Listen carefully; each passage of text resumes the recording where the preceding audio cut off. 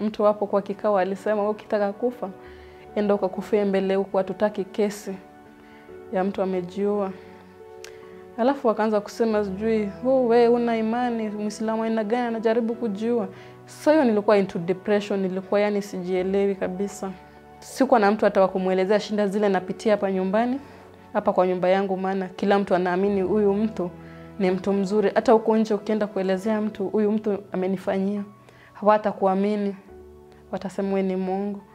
Kama hiyo miaka inaweza rudishwa nyuma tena, kusema kweli singeolewa, maana they confused me to just to get married. Haikuwa uamuzi wangu hata mimi kukubali. Ninge sikuwa najijua kusema yes, nataka kuolewa, sikuwa najijua.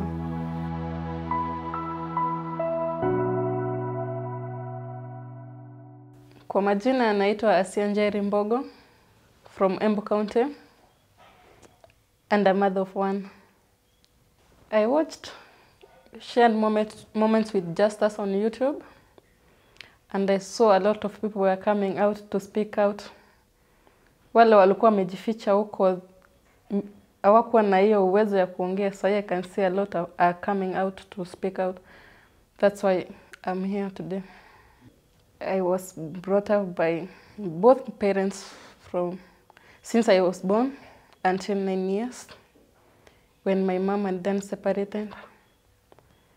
So my dad remarried.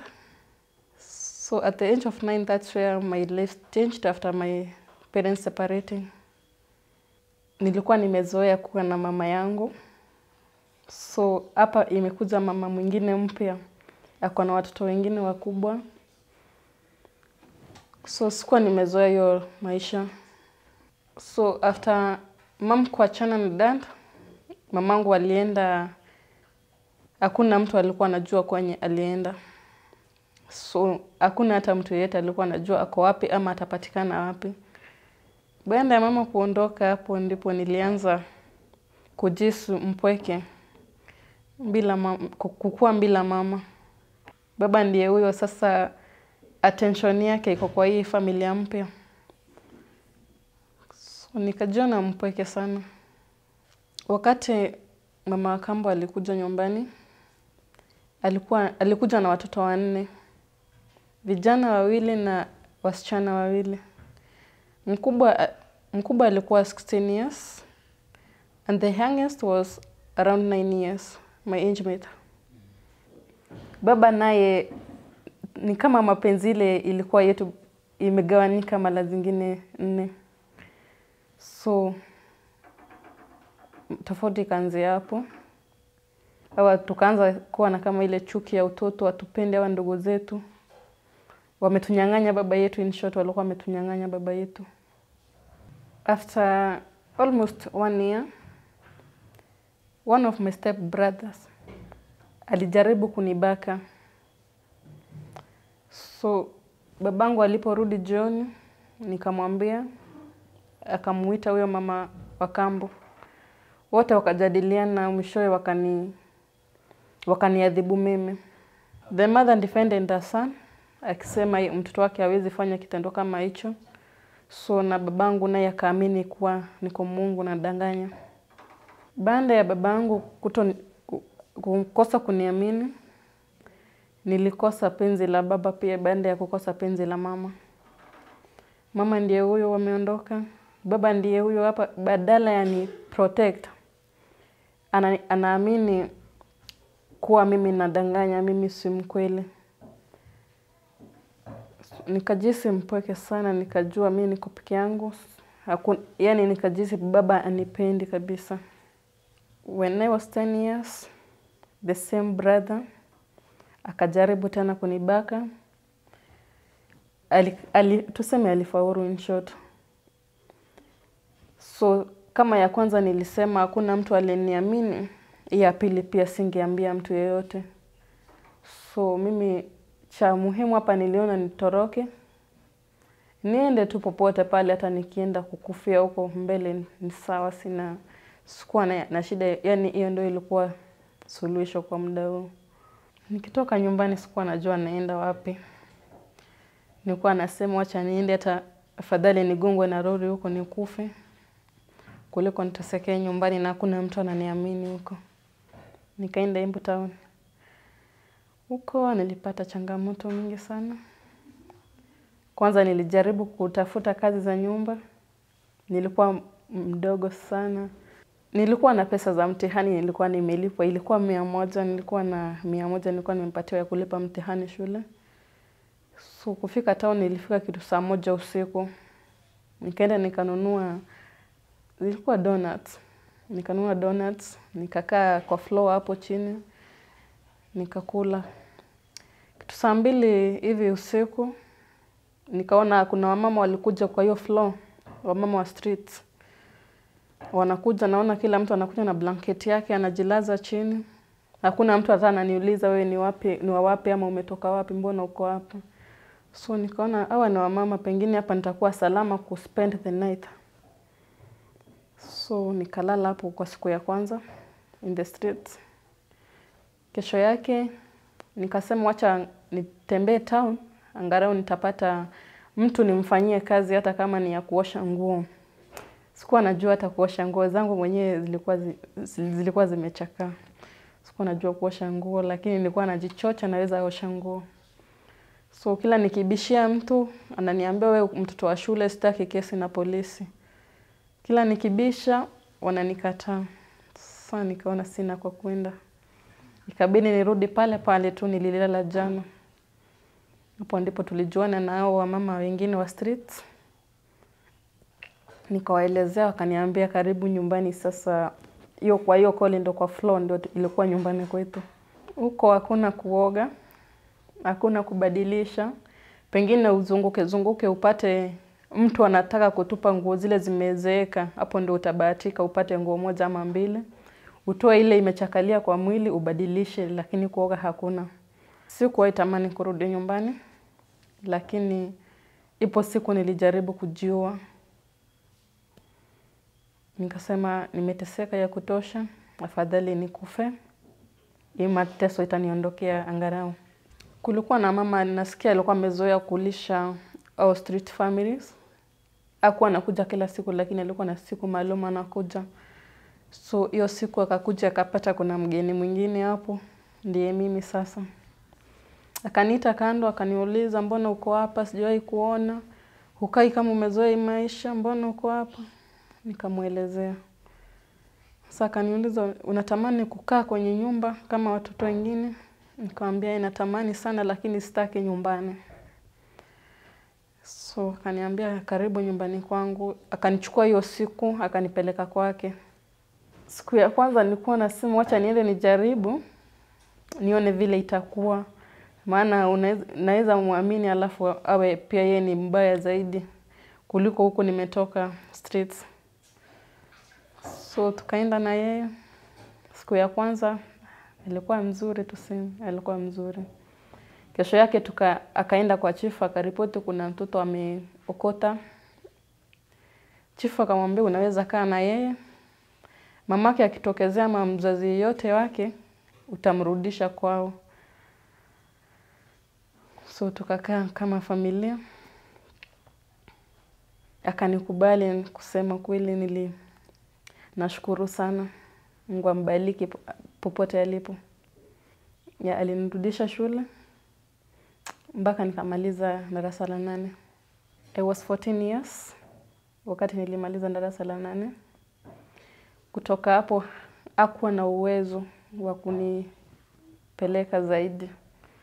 So nikakuwa nafanya kazi za nyumbani. Sikuwa najua hata kuosha nguo, kufu, kupanga hata nyumba. So hakuna sikuwa sikuwa nakaa na mtu kwa muda mrefu. Nikazunguka mpaka mpaka miaka mitatu hivi imeisha, nilikuwa na bado nafanya tu hiyo kazi ya kutoka huku kwenda kule kufanya kazi za nyumba. I know watu watakuwa wanajiuliza, ah, ilikuwa kuwaje mpaka ukakuwa Mwislamu?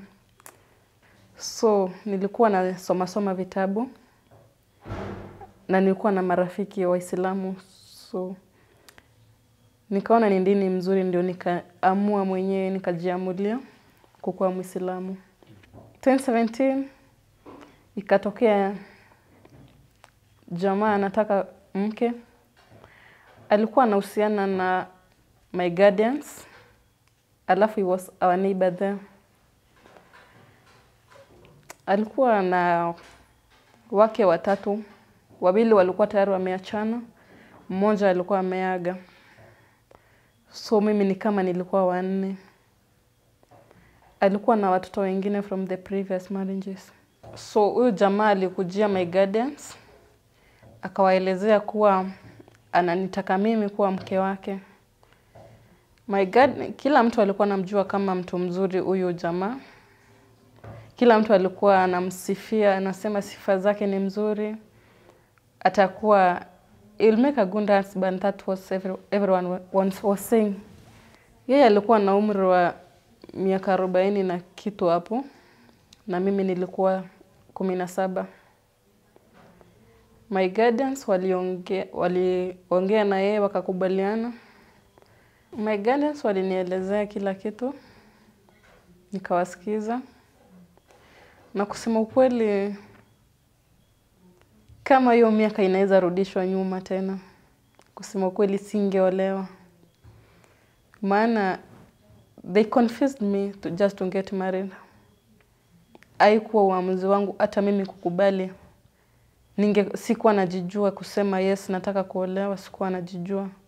After thinking too much about that over, nikaona nimeteseka sana in life. Na hapa amekuja mtu anasifiwa ni mzuri nini. Mi nilikuwa nimechoka kuteseka, so nikaona hii ofa ni mzuri, though haikuwa mzuri. Nikaona ni kama ni over, hii ofa ni mzuri, so nikakubali kuolewa. Getting married to an arranged marriage, someone sikuwa na hata sikuwa na hata feelings na yeye, sikuwa najua what love is, what marriage is. I think my guardians could have done something better for me. Hawangenitupa kwa ndoa. I was not ready. Sikuwa tayari hata kiakili ama nini, sikuwa tayari. After marriage, mi nilikuwa nafikiria kila kitu itakuja smooth. Nilikuwa nafikiria sasa nimefika. No more stress, hakuna shida zingine nitapata. Lakini nikapata nimetoka kwa shida zingine, nikaingia kwa shida ingine pia. Guy had other family. Nilikuwa najua kuna familia lakini walikuwa wametengana. Alikuwa na mtoto wa kike. I was the one living with the child by then. So I'm 17. Sasa huyo mtoto ako 10 years naona kama sistangu hata. So sikuwa yani nilikuwa naona kama sistangu tuseme. So kuna ile kugombana nini, kutumatuma mtoto ye, kama yeah. So ikafika mahali huyo mama huyo mtoto akaanza kukuja kwa nyumba yangu. Walikuwa wanasema anakuja kudanganya mtu, kutembelea mtoto, lakini yote ilikuwa uongo.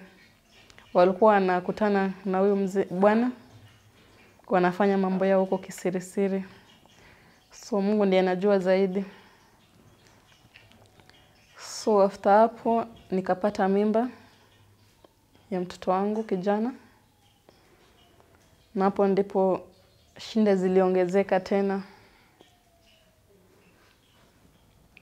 So from my pregnancy journey,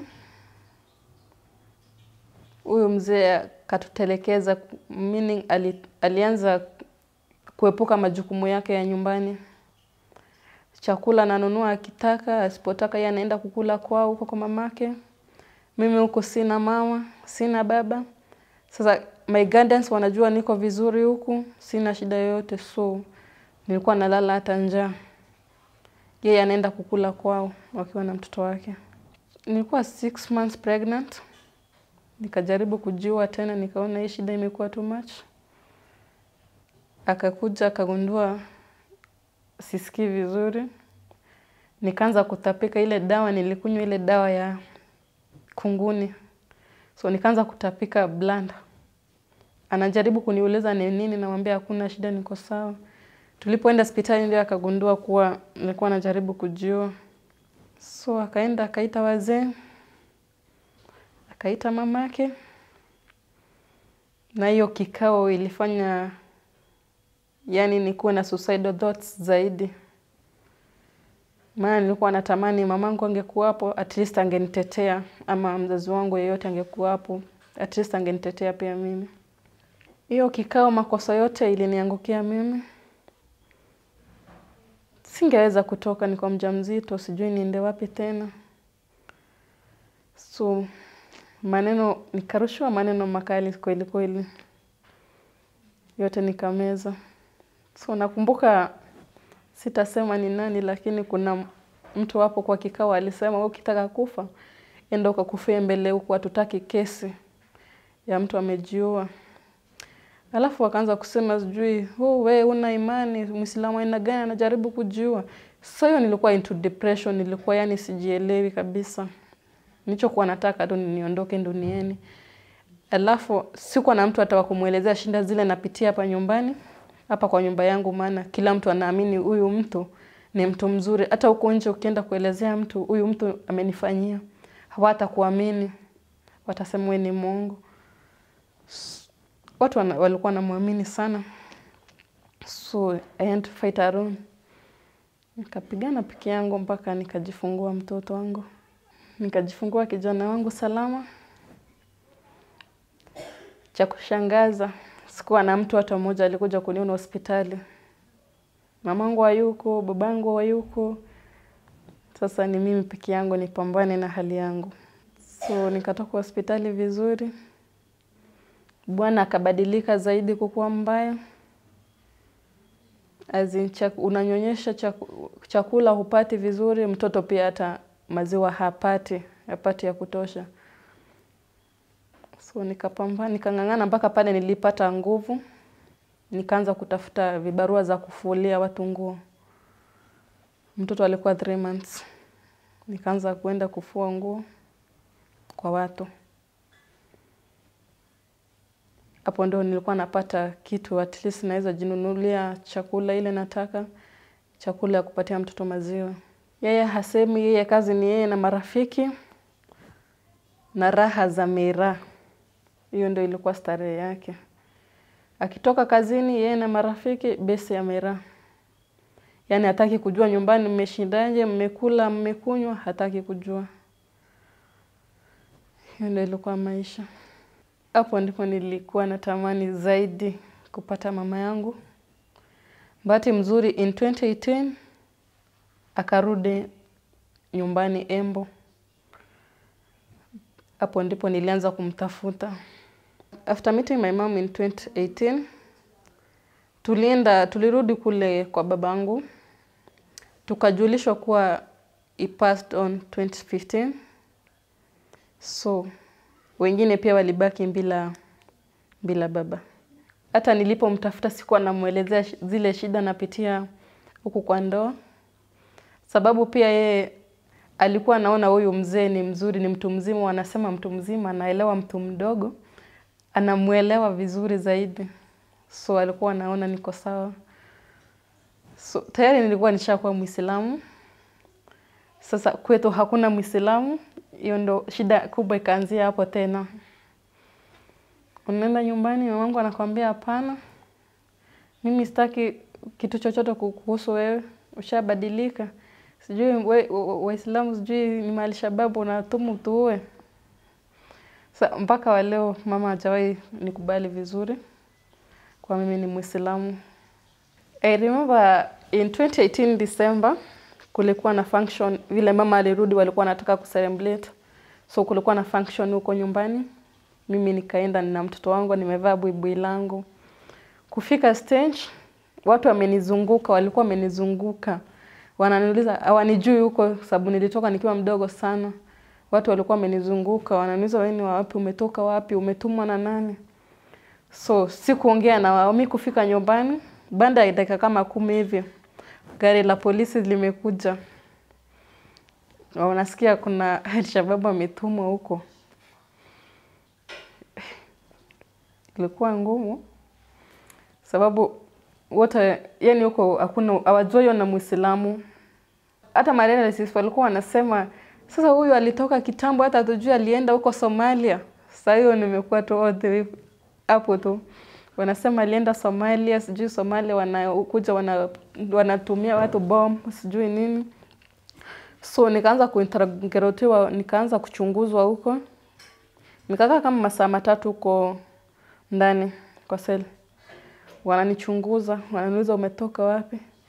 Sa ikabidi nipigie mwalimu town, tunamta ustadh, akawaelezea historia yangu.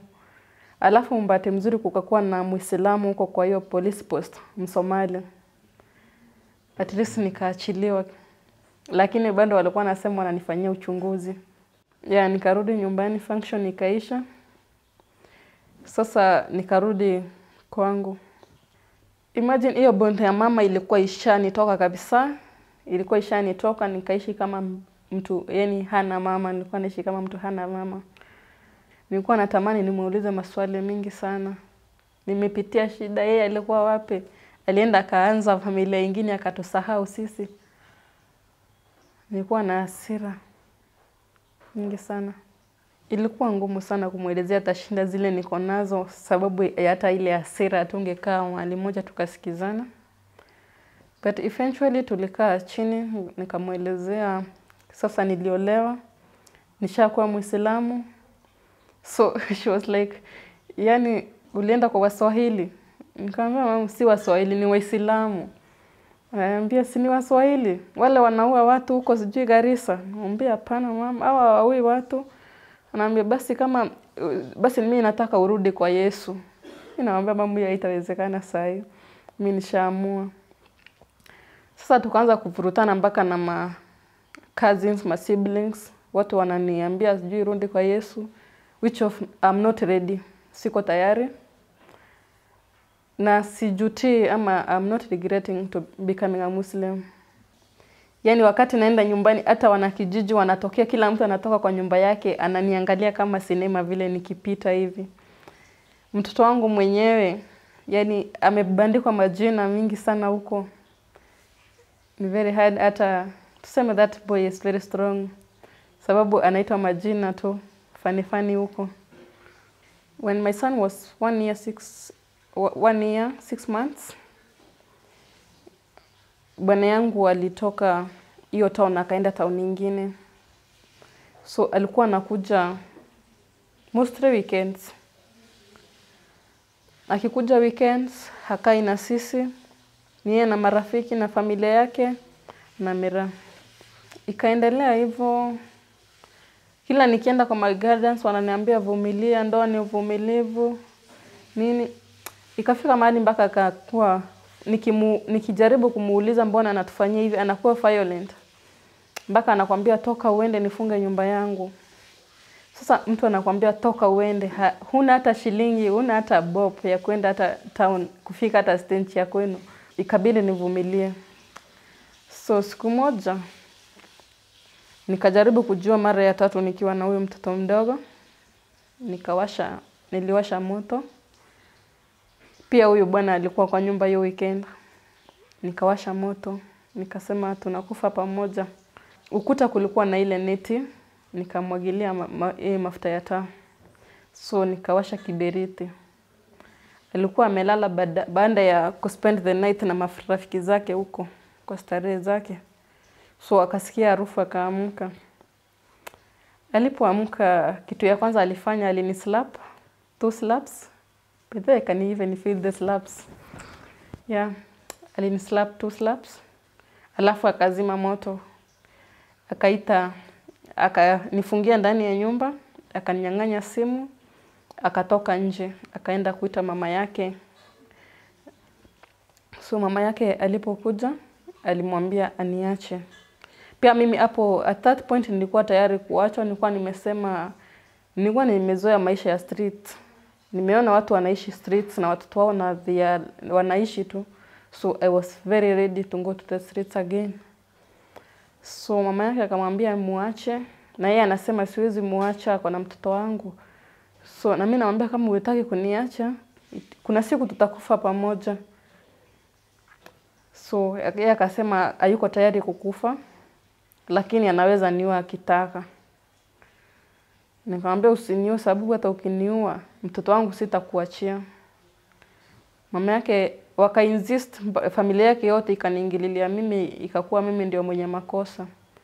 Sasa alipotoka hapo, alienda ni kama alienda bila kurudi nyuma, maana alitoka nyumbani vile alitoka, akukuja tena vile alikuwa anakuja weekends. Sasa hapa inabidi ni haso ile design nyingine, unaweza fulia hata watu watatu nguo kwa siku moja ili mpate kitu ya kukula. In 2019 hapo ndio niliamua enough is enough, nikatoka. Kutoka nilibeba, tulikuwa na tuseme, tulikuwa na something, so nilichukua vitanda, tulikuwa na tatu, nikachukua kitanda moja, gas na mattress. So kufi, nikaenda in another town, nikabadilisha namba zangu, so hakuna mtu hata angenipata, hata hakuna mtu angejua niko wapi. Sikuwa na hata shilingi. Ile gas nilibeba Meko, niliuza nikapata, huko nyumba zilikuwa cheap, nikapata nyumba ya mabati ya 500 so nikauza hiyo gas nikarentisha hiyo nyumba ya mia tano. Hii mia tano nyingine nikanunua stove. So that's where nilianza maisha as a single mother. So nikakaa, nilikuwa huko nafanya I was, nilikamia Kirinyaga County, Mwea specifically nikamia Mwea. Huko kuna kulikuwa na vibarua at least za mchele. Unaenda unapalilia mchele, unapata unapata pesa yako hapo kidogo. Nikajiweza kidogo, nilikuwa naweza kusurvive by then. So nikafanya nikakaa peke yangu bila mtu yeyote kujua niko wapi for like six months. Yeah, six months mpaka nikasema nika- sitajificha tena sababu ya mtu. Yeye alishaoa tayari, ali move on anaendelea na maisha yake. Mimi huku napata shida na mtoto yangu, so nikarudi embo tena. Kurudi Embu sikuwahi mtafuta, hata yeye mwenyewe hajawahi nitafuta, isipokuwa hiyo kesi tu alipelekanga kwa polisi. Mimi huyo nikajipeleka kwa chief, nikamwelezea Chief akaniambia haina shida, wewe uko sawa, you can just stay with the kid. Huyu bwana hata yeye ako na shida, so hakuna vile atakuripoti na ungeenda kupeleka mtoto wapi. So ikabidi nirudi nyumbani kwa mama yangu. So huko mimi ni Mwislamu, sitaki Yesu. Si eti simtaki Yesu, tunamwamini pia kama Waislamu. Ya tunamwamini lakini sasa ile pressure huko nyumbani, maswali nini, ukifanya hivi, hata kuswali uwezi ukaswali nyumbani, inabidi unahakikisha watu wametoka, dakika tano zako usha usha pray kitambo watu warudi, wewe umemaliza. So nikaona hiyo kitu yani inanifinya inani, yani inani pressure sana, nikaona I'm not comfortable there. So nikatoka, that was 2020. 2020 nikaenda Nairobi. I was being hosted by a friend together with my son. Nikatafuta kazi ya nyumba, nikakuwa nikifanya mpaka vile korona ikakuja tena, ikabidi nirudi Embu tena. So nimerudi nyumbani nikasema wacha niende kwa chief at least ni, aweze kunisaidia kulea mtoto sababu sina kazi saa hiyo. So tukaenda kwa chief, babake mtoto aliitwa, akakuja yeye akasema yeye hawezi lea mtoto kama si yeye ako naye, so it is either nirudi kwake ama niendelee kung'ang'ana na mtoto peke yangu. Mimi nikikumbuka ile mateso nimepitia kwa hiyo nyumba, nikasema wacha tu akae, hata simuitishi chochote, wacha niendelee kung'ang'ana na hali yangu peke yangu. Mtoto ilibidi ni mwache nyumbani, sio kumwacha ile kwa uzuri, lakini ilibidi nitoroke kama vile mama yangu alitoroka akaniacha. So nikatoroka nikamwachia mtoto. nikakuja Nairobi kutafuta maisha. Nashukuru sana maisha ya Nairobi haijanipeleka vibaya sana. Nimepata a well wisher, amenilipia course. Nimefanya course ya hina. Any design you want, naweza kufanyia. I have dreams. Na nashukuru sana wote wanaojitolea kunisaidia mimi kutimiza ndoto zangu. Hata kama isi, si, ndio ilikuwa ndoto yangu ya utotoni, lakini nashukuru Mungu. At least I can do something for myself with the help of others, other people. Kuna course naanza ingine ya tailoring. In future pengine unaweza nipata nikakushonea nguo design ile unataka. Ombi langu ni kuwa nione mtoto wangu akikuwa karibu na mama yake. Sitaki ile maisha ya street, staki mtoto wangu ayatamani hata siku moja. Sitaki mtoto wangu aishi kuwa hana mama. Mamake yuko hai. Na Mungu akipenda mtoto wangu nitamchukua. Nikipata kazi naweza mlisha, kumvisha na kumpeleka shule. Nitamchukua mtoto wangu akae karibu na mama yake. Hiyo ndio ombi langu. After all that happened in my life, nimekuja kugundua usikubali mtu yeyote akufanyie uamuzi wa maisha yako. Usikubali mtu yoyote akuamulie vile maisha yako ita, unataka ikuwe. Wewe tu mwenyewe ndio unaweza sema maisha yangu nataka ikuwe hivi na itakuwa.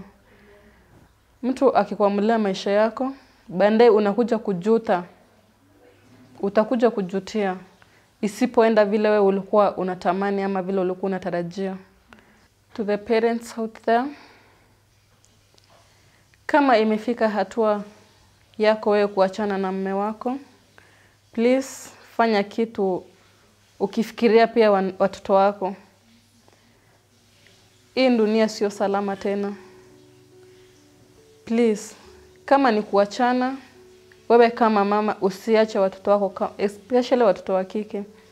Wanapitia mambo mingi sana huko, na tuseme hawana mtu wa kuwatetea ama wa kuwaprotect. Wata, wata, maisha yao yataharibika yata- mapema. Wataishi kujilaumu wao kwa makosa yako. To my mother, bado nahisi uchungu kuwa uliniacha nikiwa mdogo, na hayo yote nilipitia, bado na kulaumu wewe.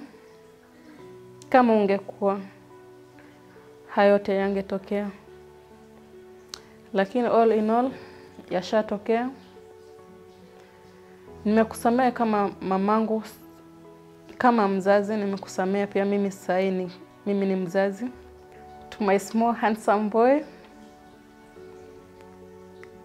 natamani ukuwe mwanaume, mwanaume ambaye atatetea haki za wanawake, mwanaume ambaye atapigania wanawake kama mama yake, mwanaume ambaye hatakaa chini kuangalia wanawake wanadhulumiwa, na mwanaume ambaye atamwogopa Mwenyezi Mungu. Nakupenda sana mtoto wangu.